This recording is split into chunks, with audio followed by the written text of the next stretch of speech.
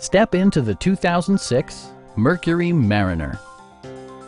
Under the hood, you'll find a six-cylinder engine with more than 200 horsepower, providing a smooth and predictable driving experience.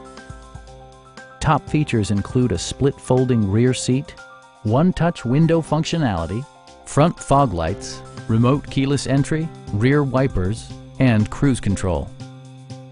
You and your passengers will enjoy the stereo system, which includes a CD player with MP3 capability and four well-positioned speakers.